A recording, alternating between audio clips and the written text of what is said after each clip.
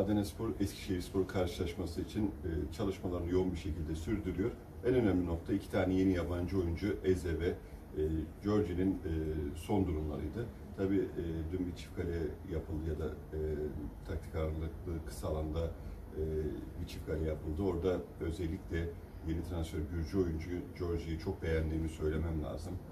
Çok hareketli, çok istekli, çok faydalı oynayabilecek bir görüntü çizdi. E, kafamda sadece şöyle bir soru işareti var. E, bu ligin üzerinde bir oyuncu gözüküyor. Acaba bu ligin üzerinde bir oyuncu olduğu için e, bu lig mücadele isteyen acaba bu ligi küçümser mi? Sadece kafamdaki soru işareti bu.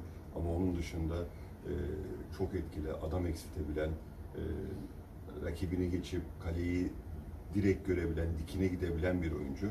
Faydalı faydalı olabileceği sinyallerini verdi.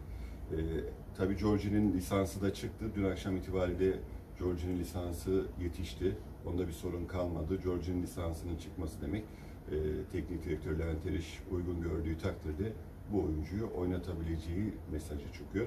Diğer oyuncu e, biliyorsun e, Nijeryalı Eze de dün e, dar alandaki çift kalede oynadı. Bu oyuncu da e, etkili bir oyuncu izlenimi verdi. Aldığı topları e, kaleye etkili kullanabiliyor. Kaleyi gördüğü an şut atabiliyor. Ceza alanı içerisinde etkili, güçlü, fizik gücünü çok iyi kullanabiliyor. Ben orada sadece yine e, George'de söylediğim gibi acaba işte bu ligin çok sert olması e, ceza alanında e, yani mesela çift kalede yaptığını ya da antrenmanlarda yaptığına rakip savunmalar müsaade eder mi? Ama şunu söyleyeyim mesela dar alanda dar alanda etkili olabiliyor, çabuk oynayabiliyor, çabuk dönüp kaleyi görebiliyor. E, artı e, geniş alanda görüp ondan sonra net kararı vermek lazım.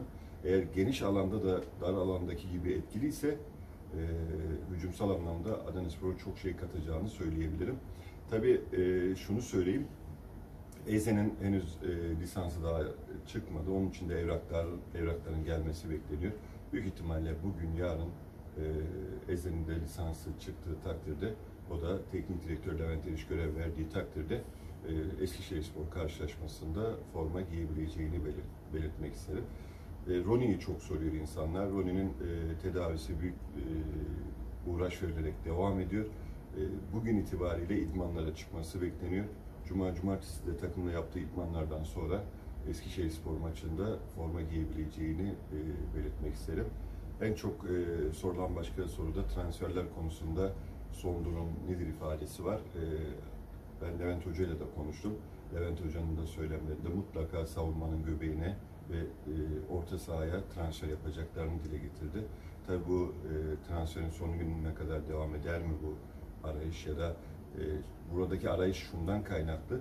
Yabancı kontenjanı dolmuş. Yani yabancı alacağınız e, yabancı 7'ye, 8'e, 9'a giderse onlardan faydalanamayacaksınız yabancı sayısı arttığı zaman.